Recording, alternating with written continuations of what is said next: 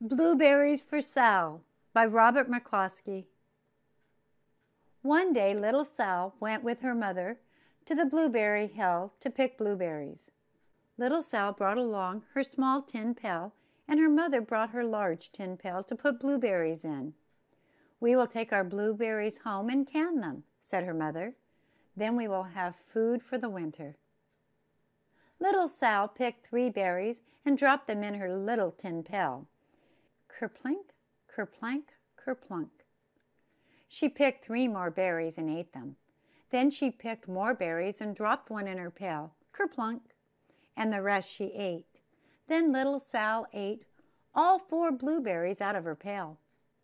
Her mother walked slowly through the bushes, picking blueberries as she went and putting them in her pail. Little Sal struggling along behind, picking blueberries and eating every single one. Little Sal hurried ahead and dropped a blueberry in her mother's pail. It didn't sound kerplink because the bottom of the pail was already covered with blueberries. She reached down inside to get her berry back.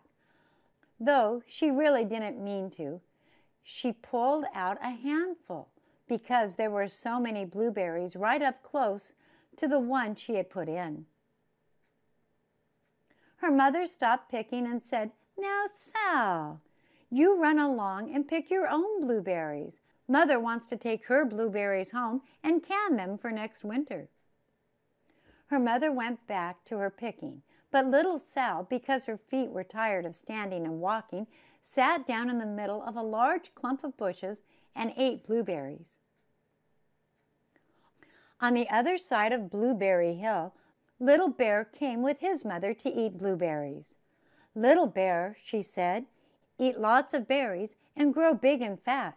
We must store up food for a long, cold winter. Little Bear followed behind his mother as she walked slowly through the bushes, eating berries. Little Bear stopped now and then to eat berries. Then he had to hustle along to catch up.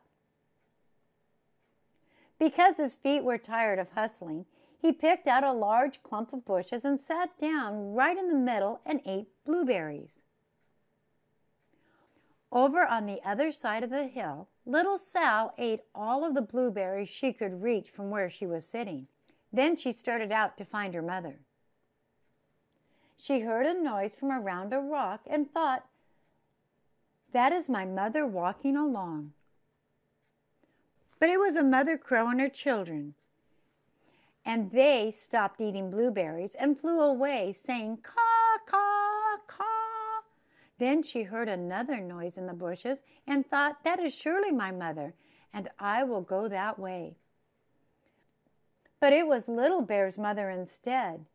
She was tramping along eating berries and thinking about storing up food for the long winter. Little Sal tramped right along behind. By this time Little Bear had eaten all the berries he could reach without moving from his clump of bushes. Then he hustled off to catch up with his mother. He hunted and hunted, but his mother was nowhere to be seen. He heard a noise from over a stump and thought, That is my mother walking along. But it was a mother partridge and her children. They stopped eating blueberries and hurried away. Then he heard a noise in the bushes and thought, that is surely my mother. I will hustle that way. But it was little Sal's mother instead. She was walking along picking berries and thinking about canning them for next winter. Little Bear hustled right along behind. Little Bear and Little Sal's mother and Little Sal and Little Bear's mother were all mixed up with each other among the blueberries on Blueberry Hill. Little Bear's mother heard Sal walking along behind and thought it was Little Bear, and she said, Little Bear, munch, munch, eat all you gulp can possibly hold? Swallow? Little Sal said nothing. She picked three berries and dropped them kerplink, kerplank, kerplunk into her small tin pail. Little Bear's mother turned around to see what on earth could make a noise like kerplunk. Gruff! she cried. choking on a mouthful of berries.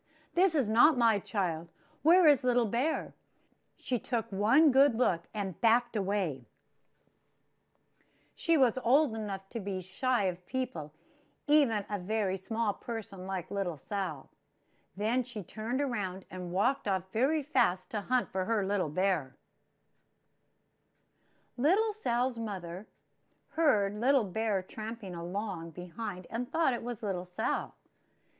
She kept right on picking and thinking about canning blueberries for next winter.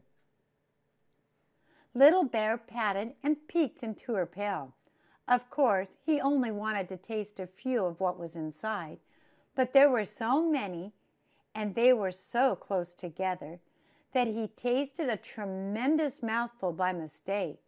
Now, Sal, said little Sal's mother without turning around. You run along and pick your own blueberries. Mother wants to can these for next winter. Little Bear tasted another tremendous mouthful and almost spilled the entire pail of blueberries. Little Sal's mother turned around and gasped, My goodness, you're not little Sal. Where, oh, where is my child? Little Bear just sat munching and munching and swallowing and licking his lips. Little Sal's mother slowly backed away. She was old enough to be shy of bears, even very small bears like Little Bear. Then she turned and walked away quickly to look for little Sal. She hadn't gone very far before she heard a kerplink, kerplank, kerplunk. She knew just what made that kind of noise. Little Bear's mother had not hunted very long before she heard a hustling sound that stopped now and then to munch and swallow. She knew just what made that kind of noise. Little Bear and his mother went home down one side of Blueberry Hill, eating blueberries all the way and full of food stored up for next winter. And little Sal and her mother went down the other side of Blueberry Hill, picking berries all the way, and drove home with food to can for next winter the whole pail of blueberries and three more besides. the end.